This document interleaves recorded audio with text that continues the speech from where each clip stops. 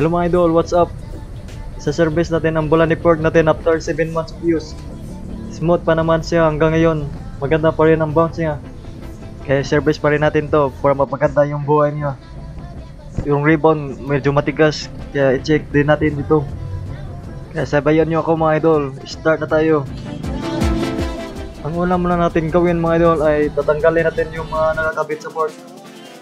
Tanggalin natin yung remote lockout. Tapos yung handlebar, tatanggalin natin. Gumamit lang tayo ng alin mga idol para matanggal ito.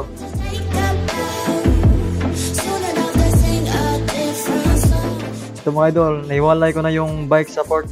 Yung wheels at brake, tatanggalin din natin. In-escape ko na kasi basic lang yon. I-test natin yung bounce. Smooth pa rin. Hindi ko lang ma-adjust yung rebound kasi na-stuck siya.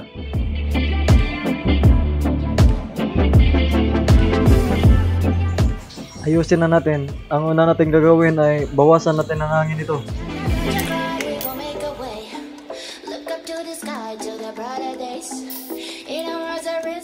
Tapos tatanggalin natin yung dalawang bolt sa ibaba. Unahin natin yung rebound. Gumamit lang tayo ng maliit na alin.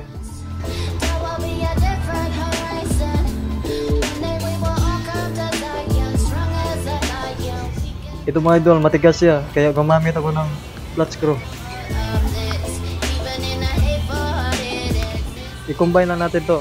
I-safety natin, baka mawala niya. Gumamit tayo ng 10 mm wrench para matanggal itong nut.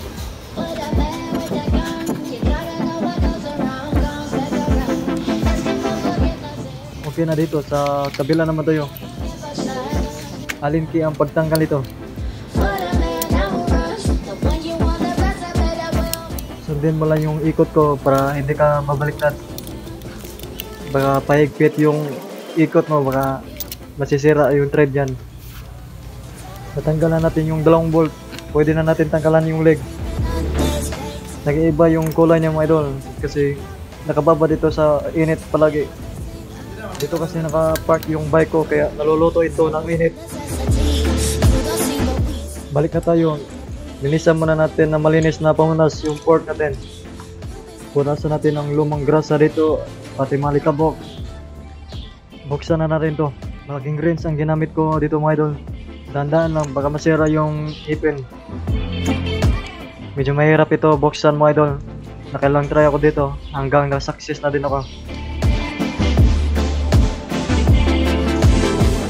Ito maitim na yung grasa mga idol. Punasan muna natin mga idol. Tatanggalin natin yung lumang grasa.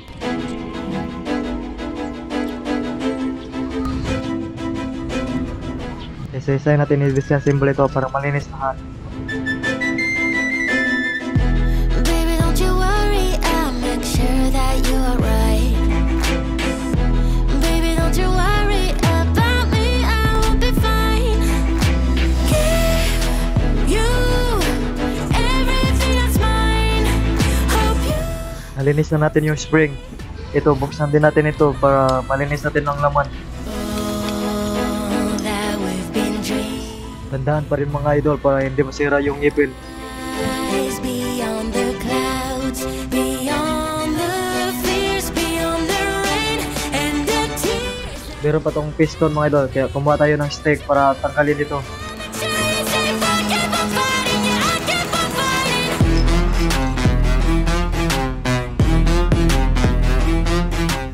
Ito na yung laman ng pork ko before wash.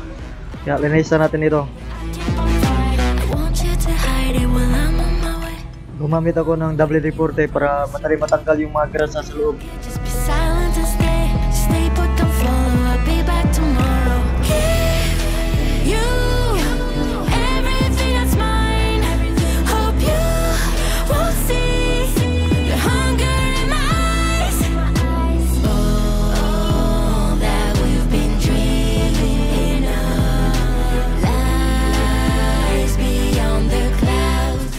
Ito mga idol, malinis na. Dapat smooth to mga idol. Walang alikabok. Para smooth yung bounce ng fork natin. Gusto tayo, pwede na tayong magasimbol. Kuha na tayo ng grasa mga idol. Damihan natin ng grasa para A-Wars early.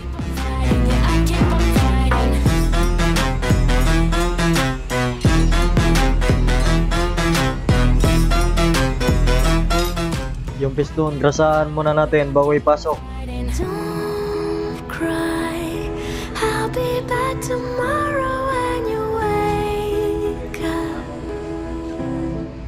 Spring, grasaan din natin bago i-assemble. Hindi ko na i-pass forward para hindi mo ma-miss yung mga steps. Oh. all the roads we travel, the journey of our lives. Take another picture before we say goodbye. Arm in arm, we're standing, standing side by side. Memories fade, but legends never die.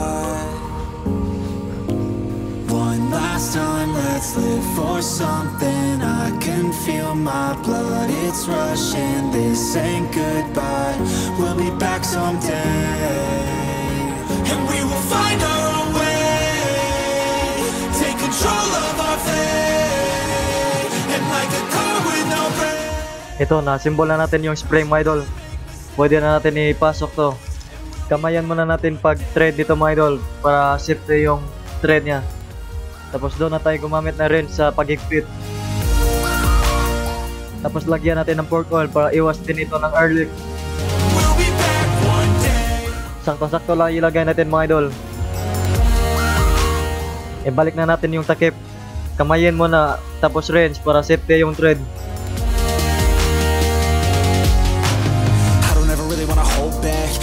Dreams wanna go fast. Know this energy's here to last. Not a glass half full. Testing natin kung may leak. Keep your eyes up on a prize. Only got one life, so it's worth a try. To find what makes you feel alive. That's the only way to live it right. Uh.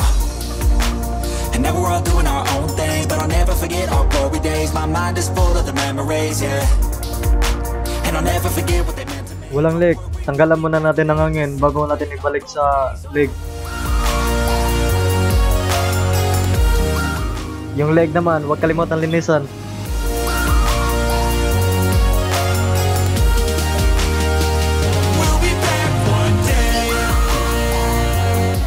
Yung sponge dito, lagyan natin ng oil para smooth. Kinamay ko na kasi wala akong pangbuhos. Yeah, symbol na natin to sa leg. Although it's over now, don't let it get you down. We'll be back around. Yung bolt sa baba, linagyan ko na lang teflon tape para wala talagang air leak. A new day, it starts tomorrow. We'll wake up, new dreams to I-align muna natin ng thread dito sa baba bago ipasok ang bolt. Okay na, kamayan mo na bago ang allen key para safety yung thread. Rushing, Huwag mo na masyadong higpitan kasi ibalas pa natin ito sa kabila.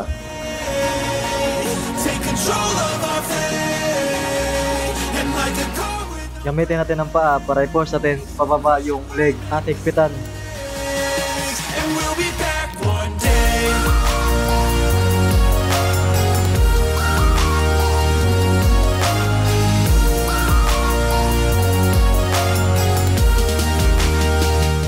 Okay na, natapos na natin pag-service mga idol. Gumamit lang tayo ng fork inflator.